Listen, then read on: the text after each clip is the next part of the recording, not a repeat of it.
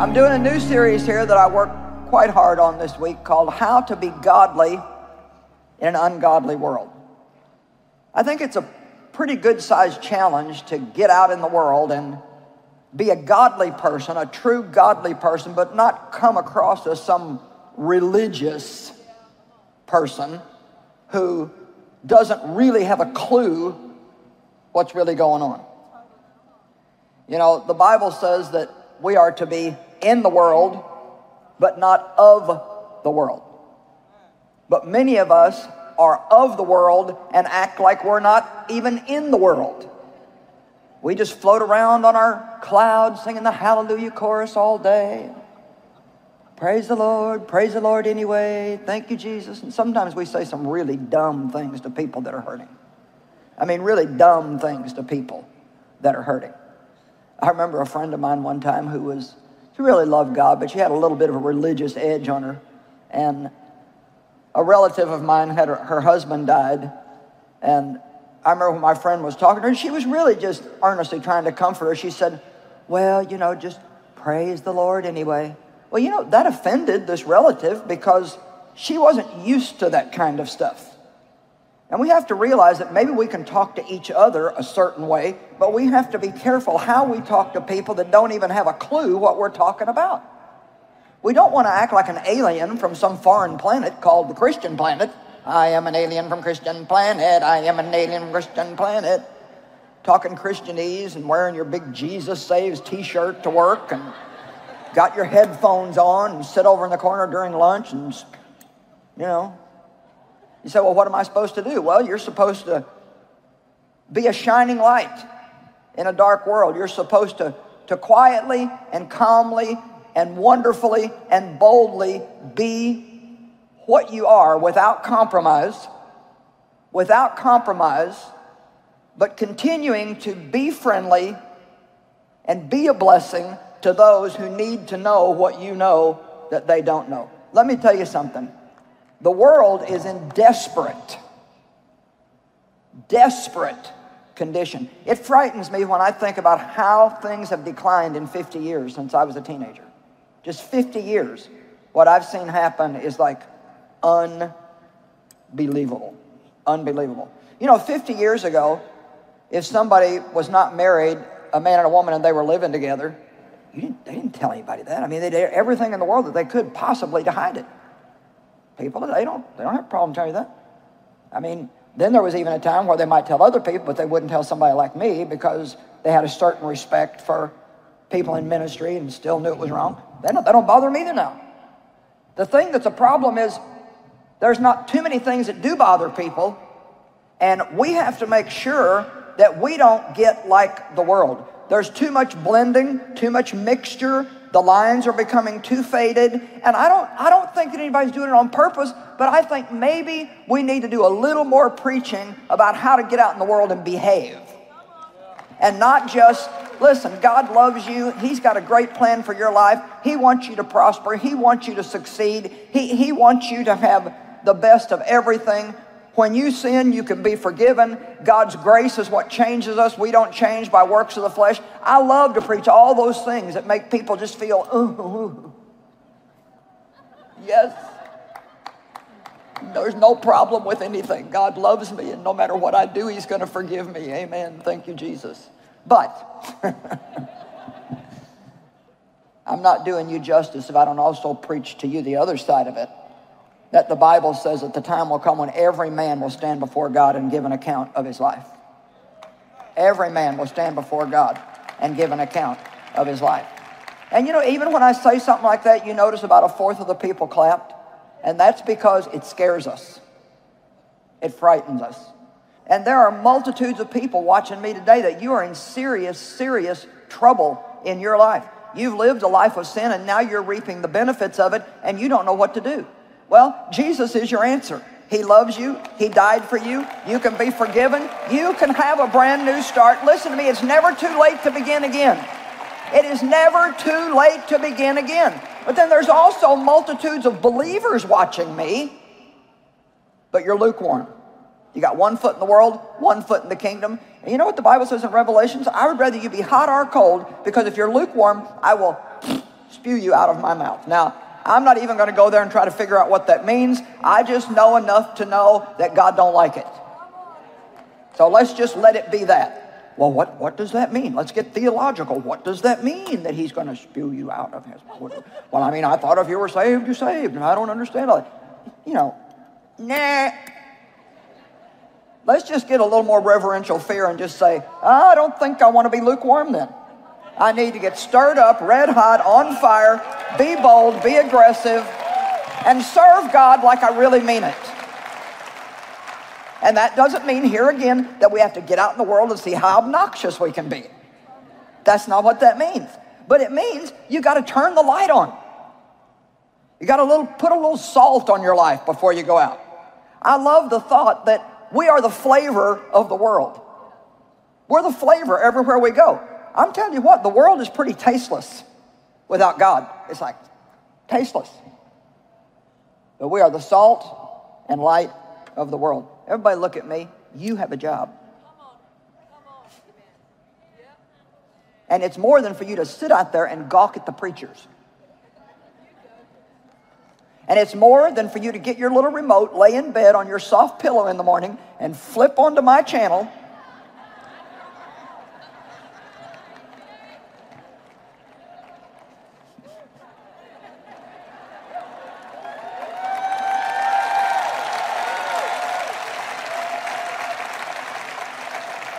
We learn so can do. Amen. All right, so this morning we're going to talk more about the same thing. Actually, we're going to talk about the same thing all weekend. but we're going to go in little different areas. Tonight, you're going to have to really be bold because tonight we're going to talk about holiness. Now we'll see who comes back. well, sister, I was a part of the holiness movement growing up, and I've had all that legalism. Listen, I'm going to teach in a very balanced way. We're going to have fun, but I'm telling you what, when we go out of here tonight and leave, we're going to be ready to do it in a better way than what we've been doing it in the past. Luke 4, 5 through 8. We're going to talk about deception and compromise. Then the devil took him up to a high mountain and showed him all the kingdoms of the habitable world in a moment of time, in the twinkling of an eye.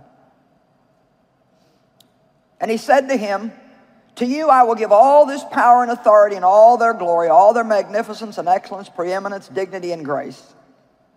But it has been turned over to me, and I give it to whomsoever I will.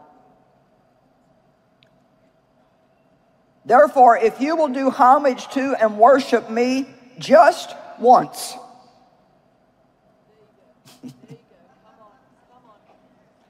it shall all be yours. Let's look at the next verse. And Jesus replied to him, Get behind me, Satan. Come on now, right here is where it all hinges. Jesus was tempted to compromise just once to get something. He wasn't comfortable right then. I can give you comfort. I can take away your suffering. I can give you everything. If you'll just compromise just once, just a little. You know what a compromise is? A compromise means that you go just a little bit below what you know is right. It's just a little. Just a little. Only once. Everybody does it. God's merciful. You can be forgiven. How many of you are glad that Jesus didn't compromise when he got that temptation right there? I wonder how much we damage our lives with these little things that we think don't really make any difference. Jesus said immediately, Get thee behind me, Satan. Paul told the Galatian church a little leaven leavens the whole lump. Now, leaven is like yeast, and although I'm not a great baker, I have enough sense to know that if you mix up flour and water and you try to cook it, you're going to get something flat. But if you put yeast in it or leaven in it, it's going to change the whole shape of it. And so the message that Paul was trying to give to the church, although he was speaking to them about not letting legalism back in, the message can be taken in a much broader sense that when any little compromise that we make actually does distort everything. You got to be very careful about these little, little things. James 4:17 says, "To know what is right to do and not to do it, it is sin."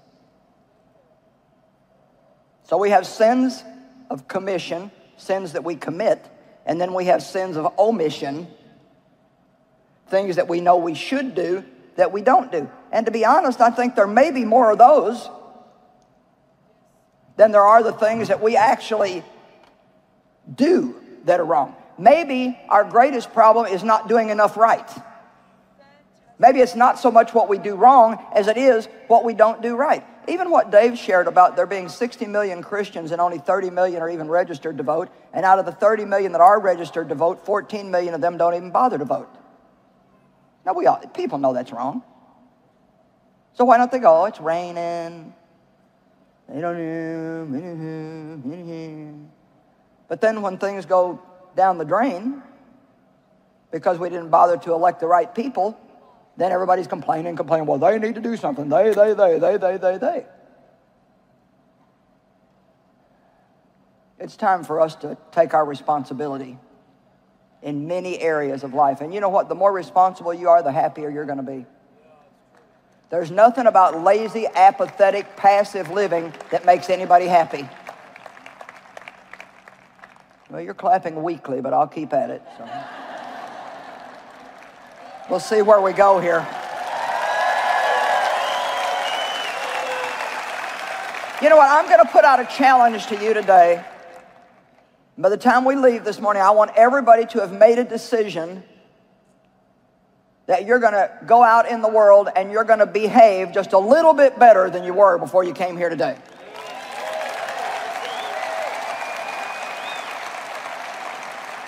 Because no matter how we say, well, you know, God knows my heart. God does know our heart, and I'm grateful that, that He deals with us according to our heart, but the world can only see my behavior.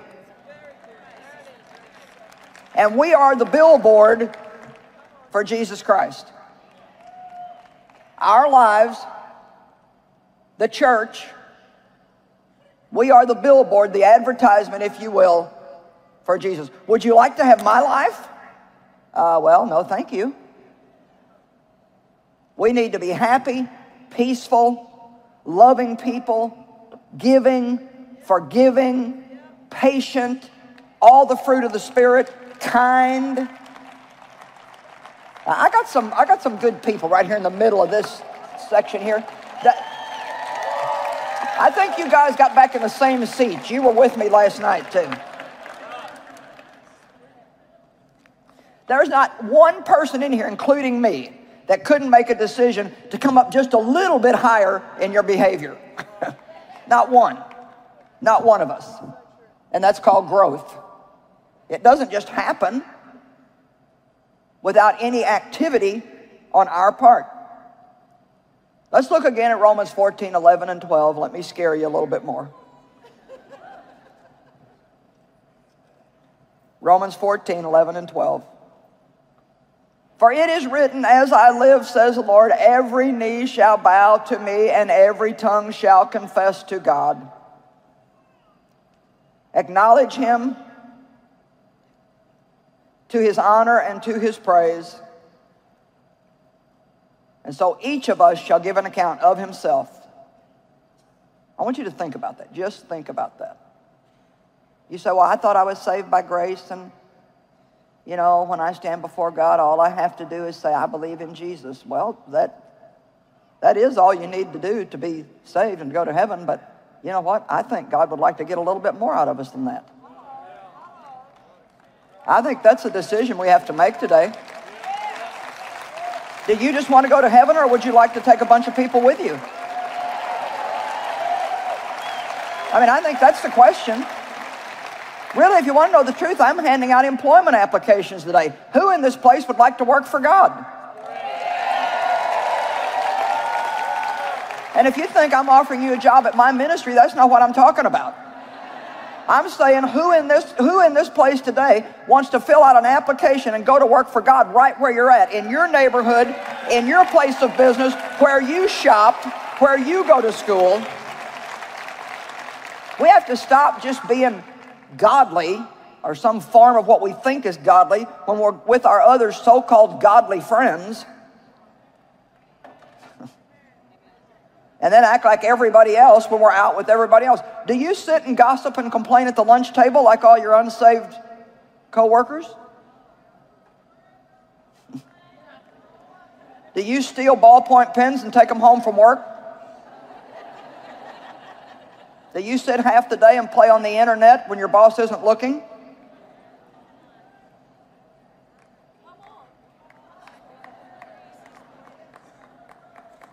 Well, bless God, they don't pay me enough anyway. Oh, get off it.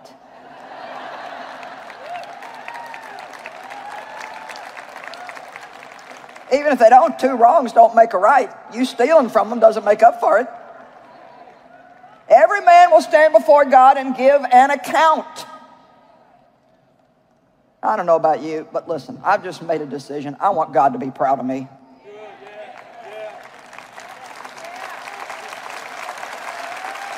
I mean, I just want him to be proud of me. I know I'm not perfect and I've got a long way to go, but I want God to be proud of me and I want God to be proud of you. I, I am not going to spend my life doing what I am doing, which I've already been doing for 35 years. And if I'm going to do this until I draw my last breath, you are not going to get to just sit there and never change. That is not the way we're going to work this deal. You might as well get ready to change, or you just might as well quit listening to me because it is going to be very annoying if you keep listening to me and you don't want to change. I'm going to make you extremely uncomfortable if you don't want to change. Lukewarm is not going to work. Compromise is not going to work. Excuses are not going to work. Self pity is not going to work. Oh, hallelujah.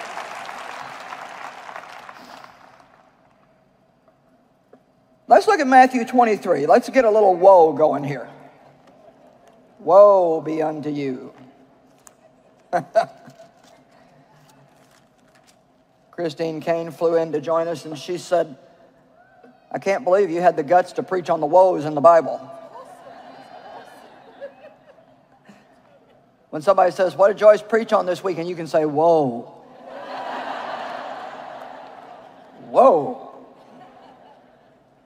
There's a lot of woes in the Bible, and to be honest, if I stood here and read them all, we'd all be scared. Like really bad. I spent a lot of years not knowing what it was, but it sounded very frightening. I didn't think I wanted any of it. But I took the trouble to look it up in preparation for this. And woe means the worst kind of misery. Like a kind of misery that you cannot get away from no matter what you do. And so when we see, woe be unto you who do thus and so, like last night I shared about in Isaiah, it says, Woe be unto the judges who issue unrighteous decrees. Wow, I don't want to be one of those judges who have made some of the decisions that are being made today. But the thing is, the day is going to come when they're going to have to give an account for their actions. Can they be forgiven? Yes. And I pray that they'll repent before they have to face God and that they can be forgiven. And when we turn to God, He wipes away our sins and He forgets them and He removes them as far as the east is from the west. And God's not going to bring up your past. I'm trying to teach this in a balanced way where we all understand that God loves us and we don't have to live with the wrong kind of fear, but we do need to have a reverential fear and awe of God that He means what He says.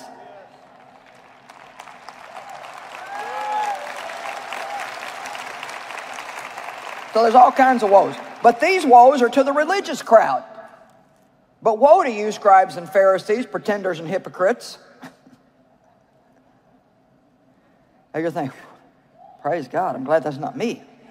Well, you know, what, what is a religious person? A religious person, just to put it in plain English, would be somebody who marches off to church every week, has turned their Bible into a coloring book. They've got everything underlined and red and yellow and pink and You know, I'm kind of into, I'm, I'm into pink right now myself. I've got myself some new pink markers, and man, I'm just, I'm doing it up. See, pink all over my message today. I like, I like it. And then when I get really serious about something, you see that? I, not, I, I got a big pink star next to that one. So, whoa. So that means, oh, this is really serious. So, you know, you can go to church three times a week. You can memorize scripture. We can have our Bible underlined. But still, what are we acting like out in the world? How long does it take you to forgive somebody when they hurt you? I said, How long does it take you to forgive somebody when they hurt you? Who are you mad at right now? Well, that got quiet. Oh, I better sit down and have a motherly chat with you. Come on, who are you mad at right now? I mean, there's so many people that go to church all the time angry.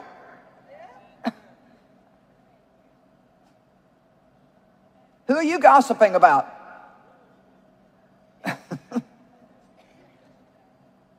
who have you been judging and criticizing?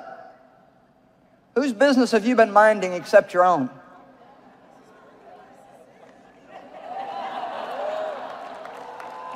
Oh, I just feel so anointed today.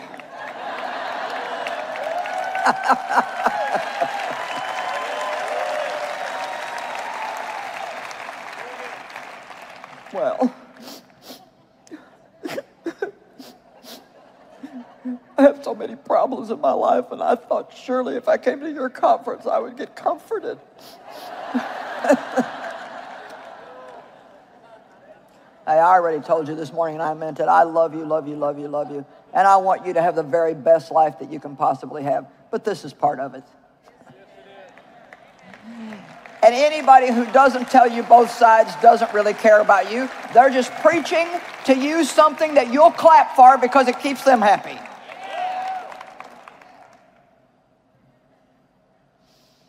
It's time for the church to wake up and realize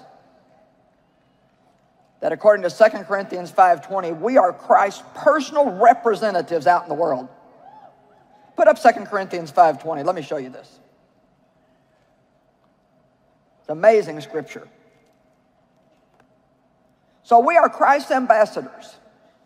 God making his appeal, as it were, through us. We, as Christ's personal representatives, beg you for the sake, for his sake, to lay hold of the divine favor now offered to you and be reconciled to God. So he's saying, we are Christ's personal representatives, and through our lives, God is pleading with people, be reconciled to me. Can you get this understanding? When you go to work, God wants to plead through you to somebody who's lost, please. And you don't even you don't have to preach one word to do it. You say, well, Joyce, I just, I'm just not good at witnessing. Let your lives be a witness. If you're bold enough to say something and you think the time is right, then say it in a loving way. Hand somebody a book, give somebody a Bible, but let your lives be a witness. When my husband worked in the engineering field, everybody knew he was different. They knew it. And I, I don't mean like different in a weird way. But yeah, there were things that they did they didn't invite Dave to do. He ate lunch by himself a lot of days when their marriages were falling apart. I mean, honestly, everybody came to him. Even people who'd made fun of him, even people who, who maybe had given him a hard time or had tried to persecute him a little bit, they, they come around to Dave. You know, they had big drawing boards back then because he was in the engineering field, kind of hang around his drawing board. Hey, Dave, how you doing today? Well, you know, whatever, I don't know, you know, what's up, you know? Well, man, my wife left me. I was wondering if you could talk to me a little. See, if you stand your ground, people will come to you. Because the time is going to come when they're going to get desperate enough to need to talk to somebody. We are Christ's personal representatives, and through our lives, God is pleading with people, be reconciled to me. Can you get this understanding? When you go to work, God wants to plead through you to somebody who's lost, please. And you don't even you don't have to preach one word to do it. You say, well, Joyce, I just, I'm just not good at witnessing. Let your lives be a witness. If you're bold enough to say something and you think the time is right, then say it in a loving way. Hand somebody a book, give somebody a Bible, but let your lives be a witness. When my husband worked in the engineering field, everybody knew he was different. They knew it. And I, don't mean like different in a weird way. But yeah, there were things that they did they didn't invite Dave to do. He ate lunch by himself a lot of days. When their marriages were falling apart, I mean, honestly, everybody came to him.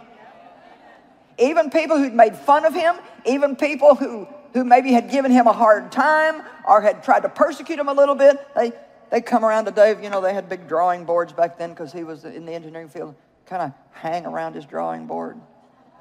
Hey, Dave, how you doing today? well, you know, whatever, I don't know, you know, what's up, you know? Well, man, my wife left me. I was wondering if you could talk to me a little. See, if you stand your ground, people will come to you. Because the time is going to come when they're going to get desperate enough to need to talk to somebody. I love what that one woman shared in that media presentation last night. She said, I finally got to the point where God gave me the gift of desperation. I love that. And we need to pray for that, that God would give unsaved people the gift of desperation. I think that would be a great thing to pray for people. That they will be so fed up with their lives. But what are they going to do if their life is full of darkness and everywhere they look it's darkness? What are they going to do? Oh, you guys are like, I don't know. How many of you agree that it's very easy to go out in the world and just start compromising and kind of just, you know, well, yeah, you know, we're, we're believers and, you know, yeah, we go to church, we got a bumper sticker, you know, we wear our cross and, but, you know, we just, we want to fit in, you know, so we just kind of blend a little and it's just a little. Well, if you'll just just bow down to me this once. If you just compromise just a little, you can get that promotion at work and because you know you need to make more money and you know you already know if you don't compromise, if you stand your ground, then you're not going to get promoted. Come on, I tell, a, I tell a good story that happened in my life, and I'm going to take the time to retell it because it'll help get my point across. I worked at a seafood company many, many years ago before I ever knew anything about being in ministry, but I did have a love for God and I, I didn't want to do wrong things. And I was the bookkeeper. And at the end of every month, we sent out all the customers statements telling them what their balance was. But occasionally, somebody would have a huge credit. And if they got a statement with a credit on it, they might just wait and let future purchases eat up that credit. But sometimes they would call us and say, Can you just send me a check? Well, this one particular customer had a pretty good sized credit, and, and so my boss said to me, he said, just, uh, uh, I want you just to debit that off of there and, and make it look like they had purchases so when they get it, there's, we don't owe them any money. Well, I was scared all day long because I'm thinking, I can't do that. I know I can't do that. Should I do that? And all the reasons, well, he is the boss and I do have to do what he tells me to and I can't afford to lose my job. And you know, I just started a bunch of work on my teeth and I was in the middle of that. And what am I going to do if I lose my job? And, you know, all the things that we think about. Well, I went home that night and I was so stinking miserable. How many of you know about being so miserable you can't hardly stand it until you finally get around to saying, okay, I'm going to do it God's way? So I went back in the next morning just pretty sure that I probably would get fired. And I just, I went in and I said to him, I said, look, I know that you don't believe the way that I do, but I'm a Christian and I believe that I believe in the Bible, and I believe that it would be wrong for me to do that. And I told him, I said, I don't want to lose my job. I need my job, but I can't, I can't do what you're asking me to do because I would be offending God if I did. And uh, man, he sputtered and popped and got red in the face. Well, just get back out there and go to work. Well, all day long, I kept thinking I'd get fired. Finally, just about five minutes before quitting time, I can imagine.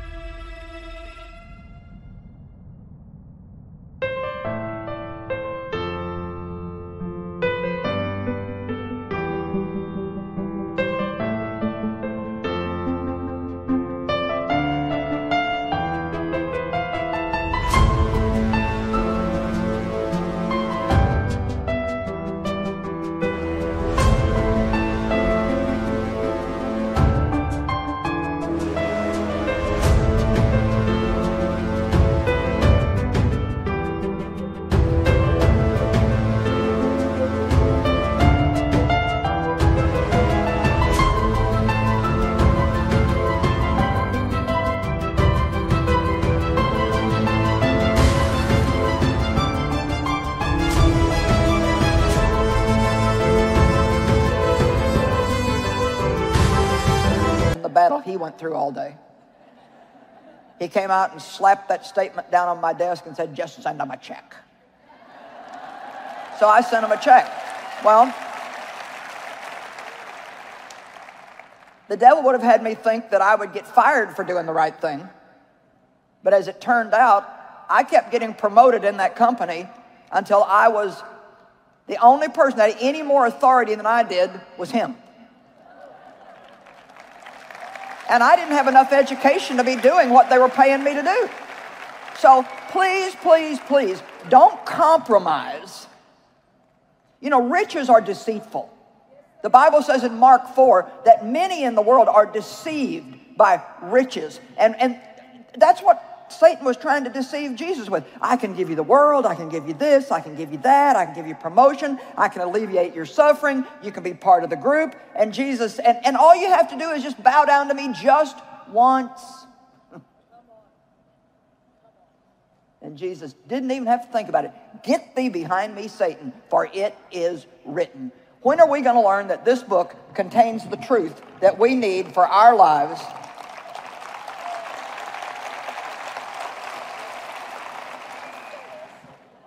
But see, this messes with people's lives. I can, I can hear your thoughts. I mean, not like really, but I kind of get a little, don't want you to get too scared, but I, I get this little sensing of like, I can hear the wheels turning. Well, what does this mean? What, what am I going to have to change? Oh, my gosh, if I'm going to live by this, I may have to quit my job. I mean, oh, what's going to happen? Uh, I mean, if I live like this, I'm liable to lose all my friends. I'll be rejected. I won't be part of the group. I need to go back to the woes. I've left them.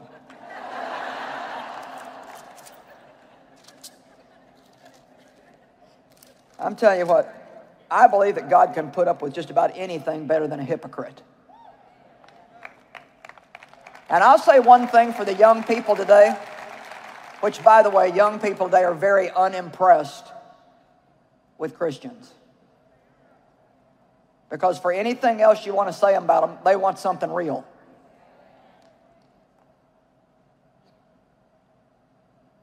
And we need to show them something real. They're not in for hypocrites. And I believe if there's anything that's distasteful to God, it's hypocrites.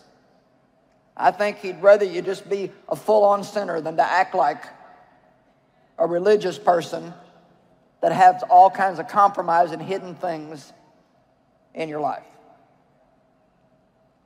Verse 13, but woe to you, scribes and Pharisees, pretenders, hypocrites, for you shut the kingdom of heaven in men's faces. For you neither enter yourselves, nor do you allow those who are about to go in to enter. Woe to you, scribes and Pharisees, pretenders, hypocrites, for you swallow widows' houses, and for a pretense to cover it up, make long prayers. Uh oh. Uh oh. Won't help anybody that's in need, but go to early morning prayer at church. oh, you guys, you're not. Listen, I remember when I did it. I remember going to 6 a.m. prayer three times a week with all my spiritual buddies.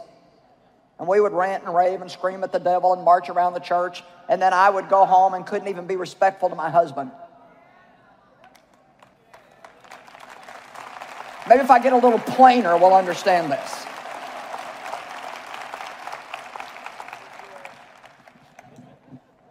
I had a mouth that wouldn't quit. I mean, I'd go pray with all the people and leave and gossip about them. That's what a hypocrite is. That's what a pretender is. That's a scribe and a Pharisee. They know what to do and they're very willing to tell everybody else what to do, but they only do it when people are watching. It doesn't matter to me how people behave in church. I couldn't care less. It's how they behave at home behind closed doors.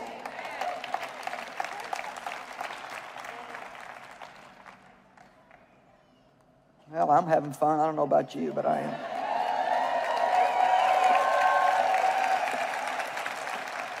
Say, well, Joyce, I just make mistakes and I can't help it. Well, when you make mistakes and you can't help it, all you got to do is repent and ask God to forgive you, and it's done instantly. I'm not talking about not making mistakes. I'm talking about having a turn.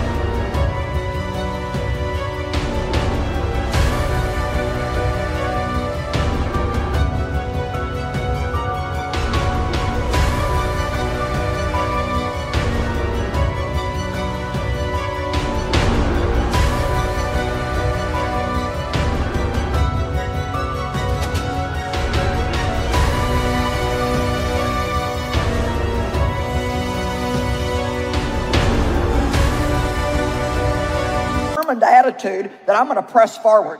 I'm not going to keep mistreating people. I'm not going to be a phony and a hypocrite. I'm not going to get out in society and just blend in. God, I need courage. I need you to get I need you to make me bold. Help me, God. We need to begin to address these issues and not just float along in our little religious boat thinking it's all okay. I don't have time for all these woes.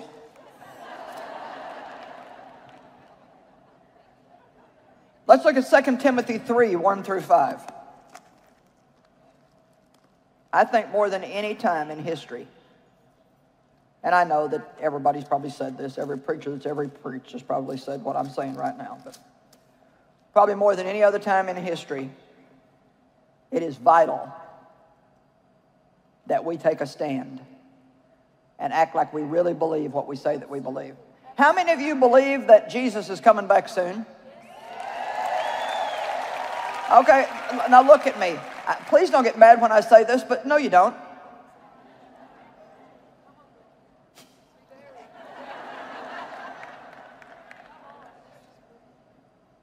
Because if we really believe that,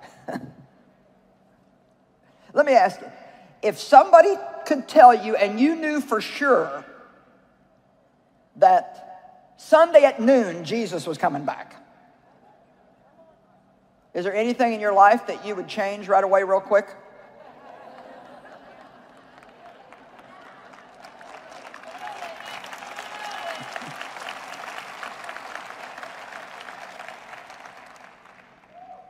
That makes me squirm a little too. Of course.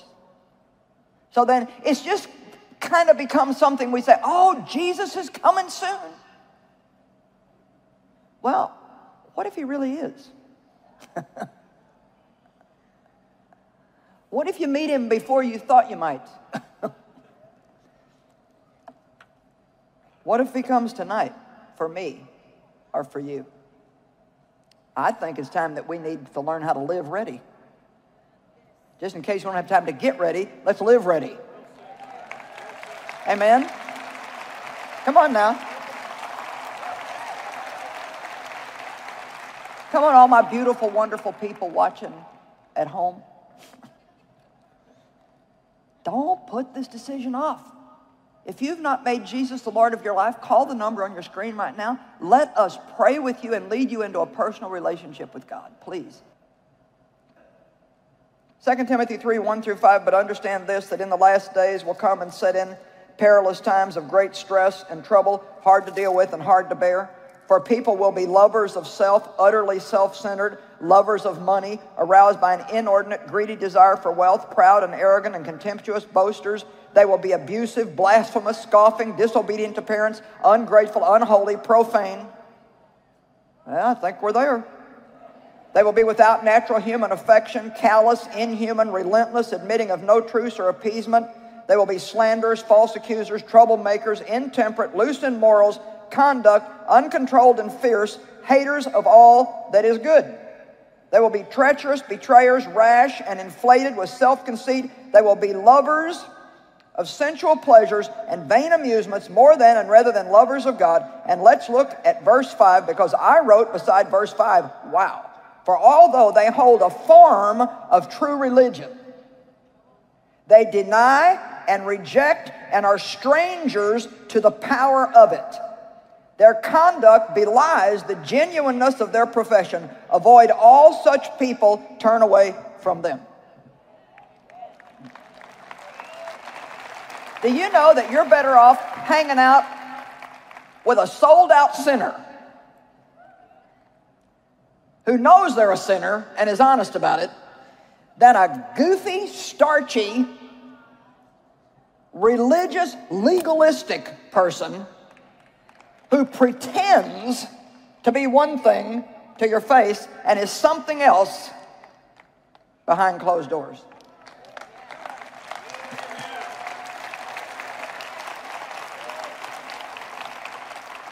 Ooh, I could use a little coffee right now.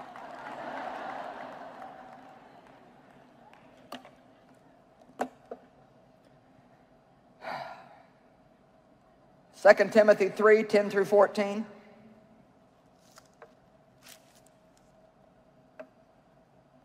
Guys love it, don't you? I know you can take it here in Minneapolis because you're the ones that God let me pick on.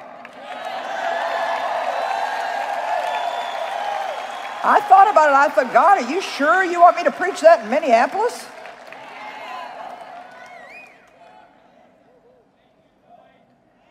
All right, now here, this is so good. Let's get this. Now you have closely observed and diligently followed my teaching, my conduct, my purpose in life, faith, patience, love, and steadfastness. My persecutions, my suffering, such as occurred to me at Antioch, at Iconium, and Lystra, persecutions I endured, and I love this, but out of them all the Lord delivered me. Now, I am not going to tell you that if you really decide to live what you say you believe, that you're not going to experience any persecution. Matter of fact, I can promise you that you will. You will be made fun of, you will be talked about, you will lose a few friends. You might get passed over at work for a promotion, but true promotion comes from God, it doesn't come from man. And I can tell you a little secret that I believe with all my heart. I believe when that situation happened to me at that seafood company that I worked for, I think God was checking me out. I think He had me in mind for this job that I'm doing right now. I do, I believe that. And I believe that if I would have compromised then, that I wouldn't be sitting here today.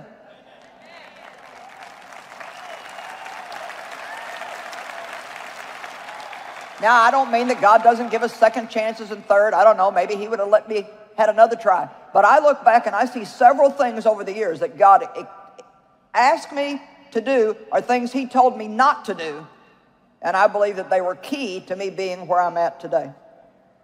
Indeed, all who delight in piety and are determined to live a devoted and a godly life in Christ Jesus will meet with persecution. They will be made to suffer because of their religious stand.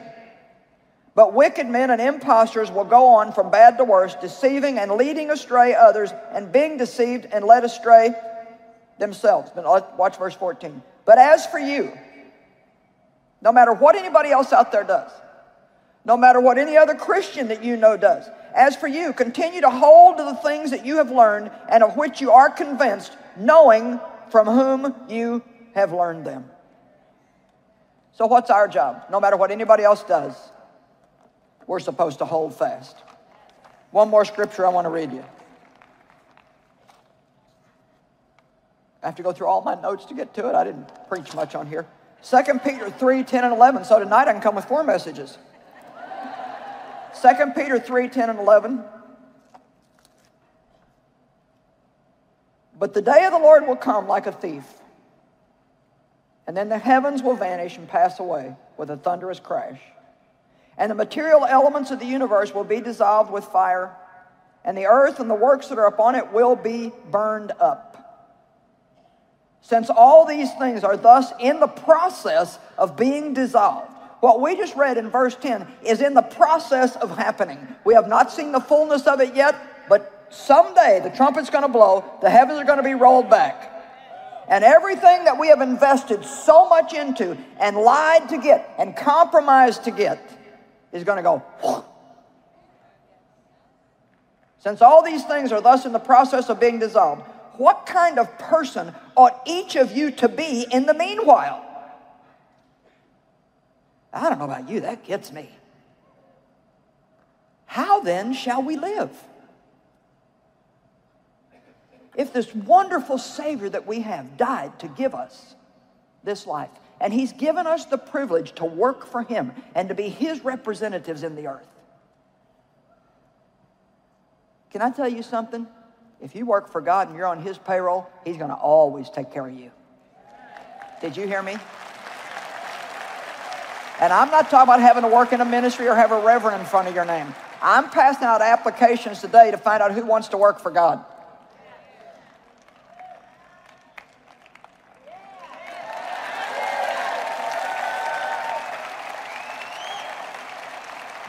But if every day when we get up, we would think about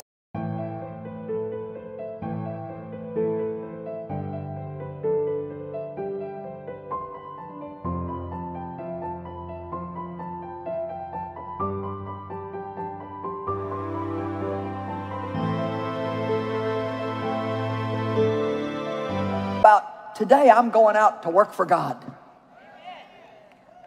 I'm going out today to represent God. I'm going fishing today, and I'm going to catch fish with holy behavior. Come on, the Bible says in Colossians, put on behavior that's a credit to God. Put on kindness, put on humility. Above all that you put on, put on love. In Ephesians, it talks about our behavior. Talks about our behavior all over the place. Could I just say what a tragedy it would be if the stores and the businesses around here didn't have a wonderful report about all the people who came to this conference? But you know what? We have to stand up and tell people in our conferences, and we do this especially at the women's conference in St. Louis. This year we'll probably have 25, 30,000 women hit downtown St. Louis. And man, there won't be a piece of clothing left or a donut that hasn't been eaten. And sadly, we've had times when the people in the restaurants have come and said, Those Christians are some of the rudest, cheapest, most ridiculous asking, look, act, acting people. So now we get up and tell people, if you are going to come to this conference, do not get out in my city and make a fool out of me. You get out there and you represent God the way you should represent Him. Treat people the way you want to be treated. Be patient, be kind, don't shove, don't push. Give good tips. Say thank you. If your meal doesn't come out exactly the way you want it, say it's no problem, I understand. You know what? We have to get the attitude. You know what? I'm not so important that everything has to be the way I want it.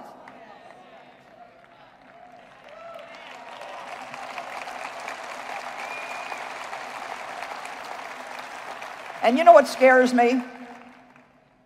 I mean, really scares me. That people could come and sit all weekend in something like this.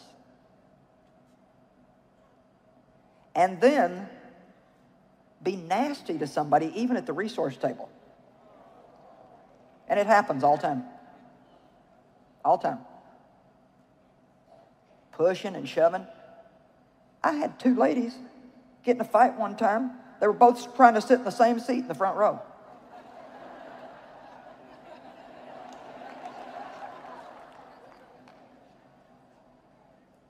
This is a very important word.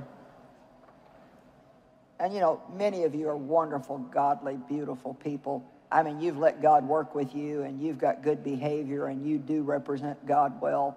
And God bless you. I hope it gets catching. I hope other people catch your vision and learn from you. But we all need to be that way. Let me ask you, just think with me for just a minute. What would happen in the world if everybody who calls himself a Christian would just simply go out and act like one? Come on, this, this is not rocket science what would happen? I'm telling you what, light swallows up darkness. And it's just that simple. All we need to do is turn the lights on and get out our salt shakers. Amen. Come on, get up on your feet and give God some praise today. Woo! Hallelujah. Come on, you might as well get happy. You got more tonight, more tomorrow. Whoa, glory. Now, let me tell you something. You don't change by trying. You change by praying and asking God to get involved and help you. You change by studying.